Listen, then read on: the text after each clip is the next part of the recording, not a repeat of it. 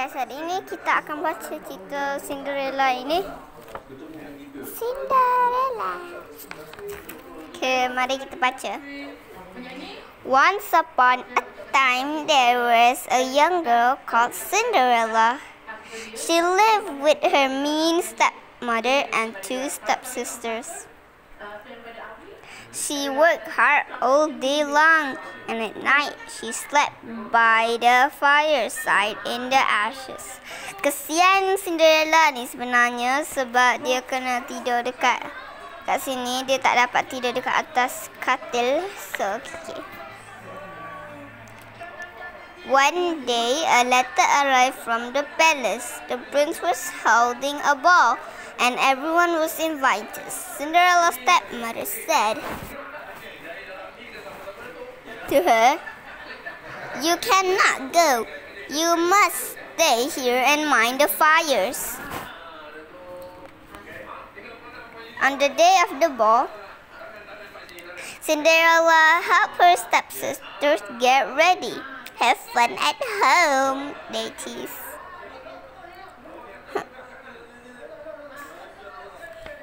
Okay.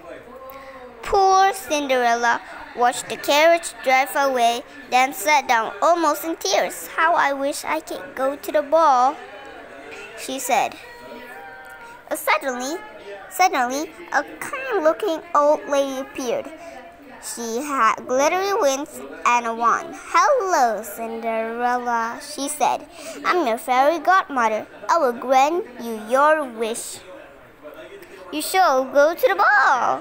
So sebenarnya dia ada macam fairy godmother ni.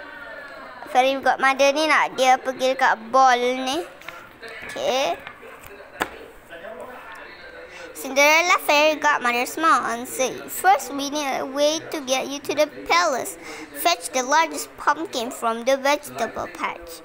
Saya minta maaf saya buat macam laju sikit. Saya memang suka membaca laju.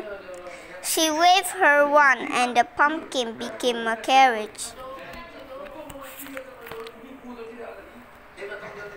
Now you need some horse and a driver you to and a driver to take you to the palace, said the fairy godmother.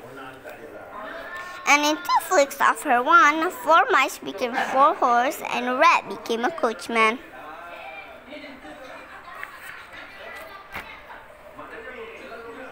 Now for the most important part, Cinderella fairy godmother. You're gone. She threw at her wand, and when Cinderella looked down, she was wearing a beautiful dress and sparkling glass. Last slipper ni sebenarnya akan jadi clue untuk dia macam tinglah. Cinderella fairy godmother said she was ready for the ball but that she must be home by midnight. The spell will end as the clock strikes 12. Okay. When Cinderella arrived at the palace, everyone turned to look at her. Who is that beautiful young lady? They asked. Nobody recognized her, not even her stepsisters. The prince danced with Cinderella all evening. She was enjoying herself so much that she didn't notice the time.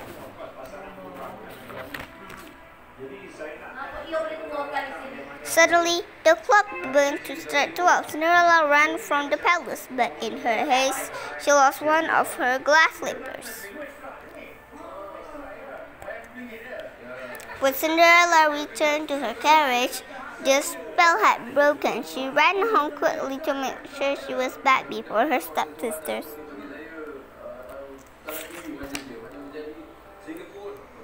The prince, meanwhile, could not forget Cinderella. He had fallen in love and declared that he would marry the owner of the glass slipper. He visited every house in the land, but had no luck. Finally, he arrived at Cinderella's house. The glass slipper belongs to the girl I danced with at the ball, the prince said. I must find her. Cinderella's stepsisters invite the prince inside, and they try to force their big feet into the slipper, but with no luck. The prince asked if there, if there were any other young ladies at the house. Of course not, said the stepsisters. Just then, Cinderella stepped into the room. But before she could speak, her stepmother said, No, not her. She works in the kitchen. She didn't go to the ball. But the prince asked Cinderella to sit down on the chair.